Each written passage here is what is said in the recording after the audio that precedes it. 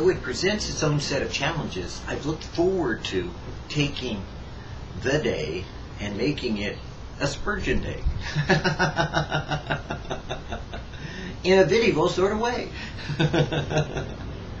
In other words, I have been wanting to and prayed about for some time now going back to the reality of the devotionals that we have had in VidDevo in such a way that we could stylize and customize for those who might look at Spurgeon and say, oh no, I don't understand it, the King James that Godeth giveth to Spurgeoneth. because there are lots of people that look at someone like Spurgeon and they go, why does anybody read him?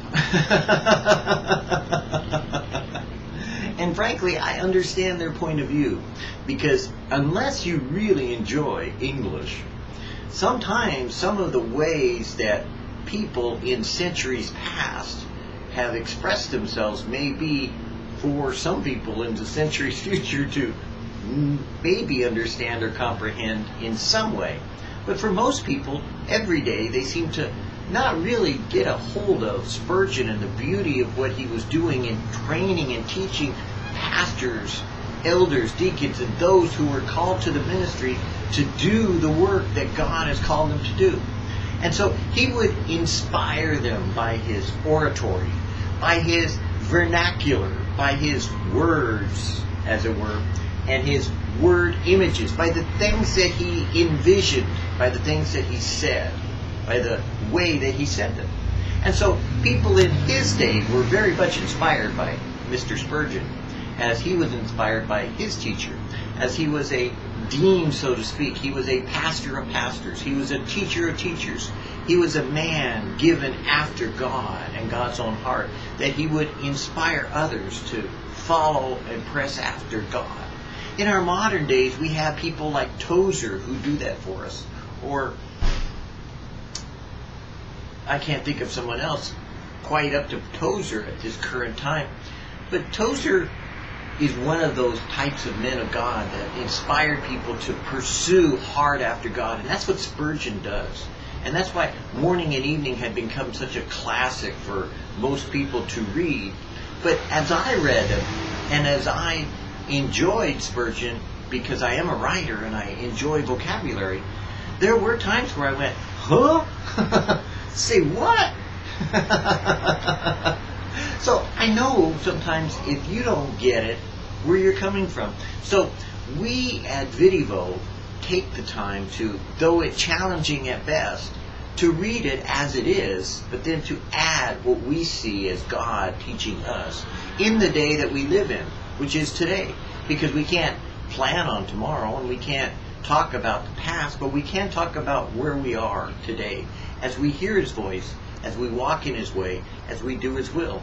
So, though we may be challenged in how we do it to start with, once we get rolling along, praise the Lord, I'm looking forward to daily, morning and evening, though tonight we may not do Spurgeon because some of the days were a little mixed up. We will do morning and evening with VidDevo choosing to take the day and to dedicate it to the glory of God our Father, but in honor of the man that God sent to us, that was humble before his elders and humble before all of those who came to him for teaching, who was simply called Spurgeon. If any man sin, we have an advocate with the Father, Jesus Christ the righteous. 1 John 2 1. If any man sin, we have an advocate Yes, though we sin, we have him still. John does not say, if any man sin, he has forfeited his advocate. No, but we have an advocate, sinners though we are. All the sin that a believer ever did or can be allowed to commit cannot destroy his interest in the Lord Jesus Christ as his advocate. An advocate, we know, is a lawyer. So yes, we have a lawyer with the Father. We have someone who is for us, not against us. The name here given to our Lord is suggestive. Jesus. Ah, then he is an advocate such as we need For Jesus is the name of those whose business and delight it is to save. They shall call his name Jesus, for he shall save his people from their sins. His sweetest name implies his success. The very nature of who he is is in the word that he is called, Jesus. Next, it is Jesus Christ, Christos, the anointed, Messiah, the anointed one. This shows his authority to plead, his given right, his sovereignty. The Christ has a right to plead, for he is the Father's own appointed advocate and elected priest, given by God himself. If he were of our choosing, he might fail. But if God has laid help upon one that is mighty, we may safely lay our trouble where God has laid his help. He is Christ, therefore authorized. He is Christ, therefore qualified. For the anointing has fully fitted him for his work. He can plead so as to move the heart of God and prevail. What words of tenderness, what sentences of persuasion will the anointed use when he stands up to plead for me? One more letter of his name remains Jesus Christ the righteous. This not only is his character, but his plea. It is his character, and if the righteous one be my advocate, then my cause is good, or he would not have espoused it. It is his plea, for he meets the charge of unrighteousness against me by the plea that he is righteous.